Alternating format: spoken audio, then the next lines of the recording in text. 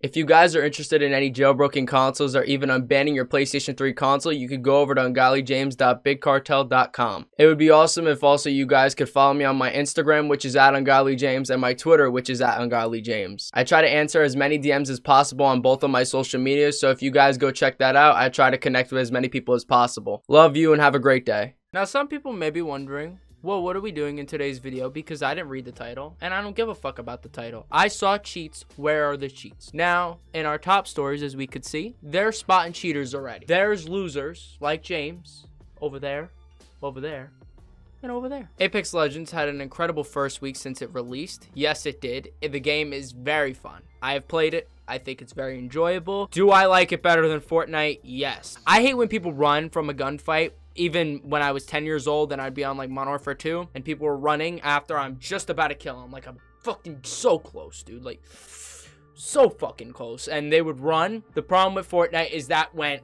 boom.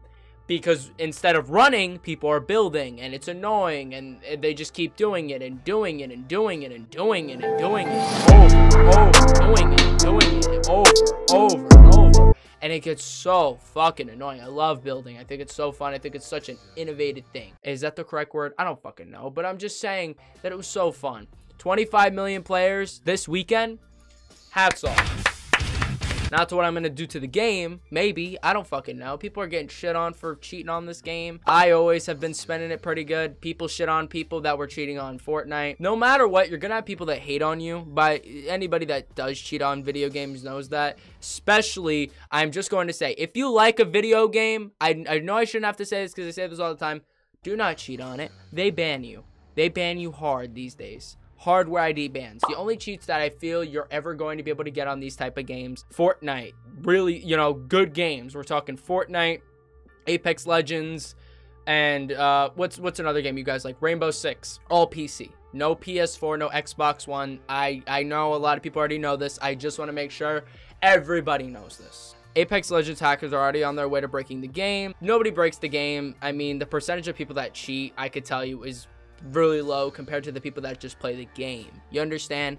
And no matter what, skill will never beat cheats. Cheats always malfunctions. You have to understand. Man-made cheats. These are people that didn't go to college. These are people that didn't actually get sat down with and they go, yo, this is a dude that's showing you how to actually create a cheat, how to actually code something nicely, how to make sure it goes well. No.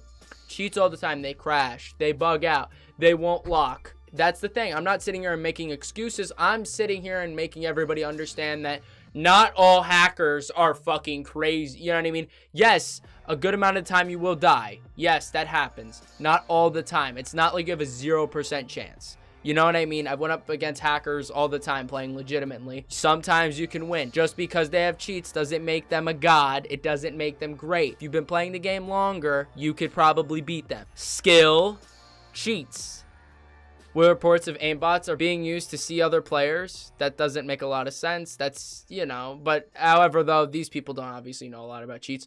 It's like ESP and stuff, like red boxes, if you guys have ever seen that kind of stuff, so you could see people around the map. I'd assume that's, you know, just like Fortnite and shit. They're just trying to bring it to other games. Uh, hacks are being are by no means widespread and won't affect players on console. Yes, none of these cheats these people will ever talk about, by the way, touch console as we went on just before. Unlisted video exhibits. Why do they have to say shit like that? Highlighting enemies at great distances, detailing their current health as a regular player. There's no real way to preemptively identify a cheater or hacker in Apex Legends. If you repeatedly, if you are repeatedly shot from extreme angles or while most likely in cover, you should be facing off against a hacker. See, this is the problem that I think ruined Fortnite. And I think a lot of people, I, am just getting a jump. People can make fun of me, of course, because I think that this is a real thing. Hackers kind of got big on Fortnite because people like, they started watching them. But the problem when people actually highlight that hackers, hackers, hackers, cheaters, everybody is in this game, these streamers, they use stream snipers as the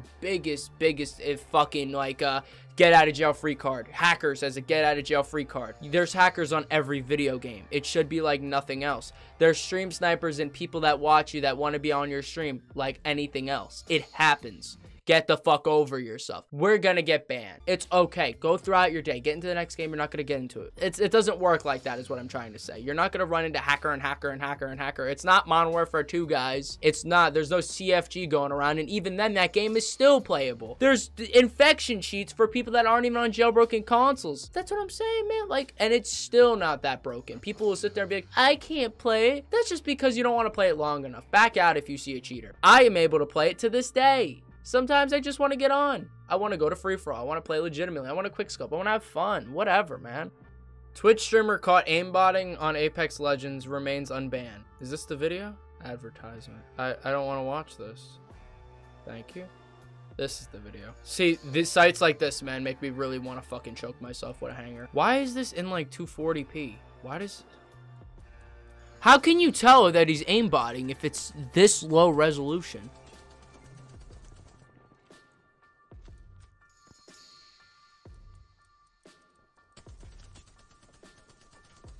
Wait, no! No, no, no, no, no. Homie, if he was cheating, there's a guy right there. He would have locked to him. Look, still not locked. Now he's looking. Now he's free. Still not locked. Still not locked. He's he's he's nervous, so he's all over the place. You could tell. He's not consistently hitting. There's no numbers. Every shot usually can hit. Every other shot usually can hit. By the way, I just want to make sure everybody understands. I'm giving the people that don't understand the information. Still missing. This dude's not even fucking cheating. What, what a bunch of, what a load of shit. See, that's what I feel bad for. That's what I hate.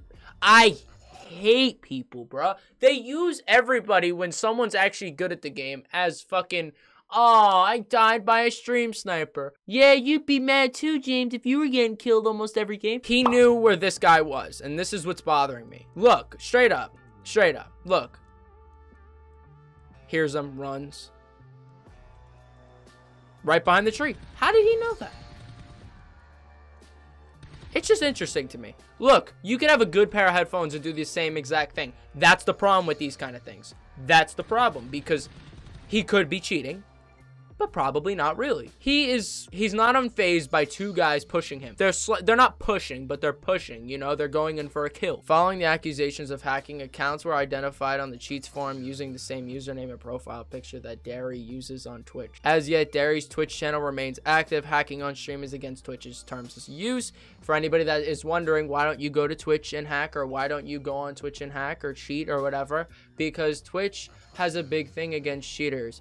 They are in favor of the 10 hour boys, and that's what I call them. That is not me making fun of people, but if you would consider that, then I don't give a fuck. The 10 hour boys, by the way, are guys who sit at their computer with their ass imprint in the chair from yesterday, from doing a 10 hour thing yesterday, of them consistently sitting there like this all fucking day. They sit there like this.